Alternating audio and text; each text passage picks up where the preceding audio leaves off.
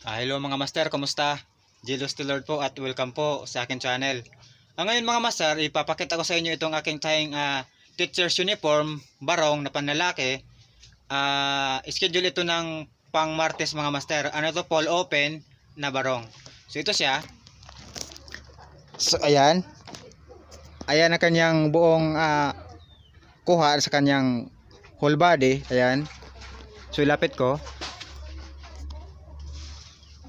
So ayan ang kanyang ah, borda, medyo dumilim kapag ka nasa ano yung ilaw. So ito siya ang kanyang style sa kanyang front ah, bar. Ano to mga master? Ah bar talaga tong ano ko hanggang dito lang yung ano kasi dito, yung tela. Dinugtungan na ko na ito ng pang bar na 1 and 1 fourth ang size. Tapos siyempre dito sa kabila, siyempre automatic na yan na 1 inch naman ang size ng kanyang ah bar sa may may kinakabitan ng buttons. Tapos isong tapos itong uh, borda, ayan siya, may distance ito ng mga almost 1 and 1 half mga master mula sa bar. Uh, Ito yung kanyang buttons. Tapos ito sa neckline, ito hindi hindi ko to siya maano ma close kasi maliit siya sa ano eh, sa neckline ng ano ko ng manikin. So ayan siya. Hanggang ang kanyang board hanggang sa baba ayan, ayan siya. Ayan. Tapos tingnan natin sa side. Ayan, ito yung kanyang side. Side slit ito. Ayan. Ting side slit. So tingnan natin sa alawan sa likod. So, ang ginawa ko dito sa likod ay ginanyan ko lang yung tahi. Sa, paano, paano yun? Ah, karoon, ah, ngayon na lang ngayon. Ito yung kanyang style sa back, sa kanyang back yoke. Ah, plain lang yan sa walang ano, walang walang plates, side plates or center plates, wala siya. So, ayan. Tapos ang gamit ko nito sa aking ah, pang collar ay ano lang to? Ah, smooth collar lang siya. So, yung pilon lang talaga na manipis. Tapos dinoble ko na lang para medyo tumigas-tigas ng konti.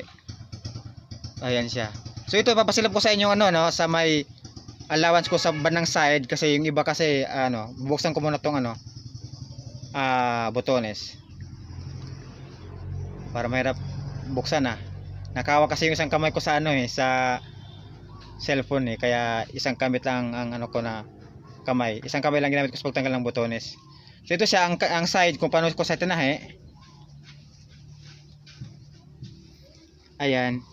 So hindi sa yung tawag sa ordina kadalasan ginagawa kasi natin dati Balenciana ang tawag ay ah, tahe. Ito hindi sa Balenciana yung parang style talaga sa ng mga barong hose, mga pinya. Ito yung ginawa ko ng style. Yung diretso lang siya. Ah, may allowance ako nito na tawag ito. May allowance ako dito na 1 and 1 fourth or kaya 1 inch pwede naman na yan siya. Tapos sinigsagan ko na sa gilid ito yung sigsag oh. Ayan, ayan yung sigsag. Tinupi ko siya para malinis. So yun yung side. So yun, nakita nyo na ang aking ah, lahi na barong na tit deep ed teacher's uniform panlalaki.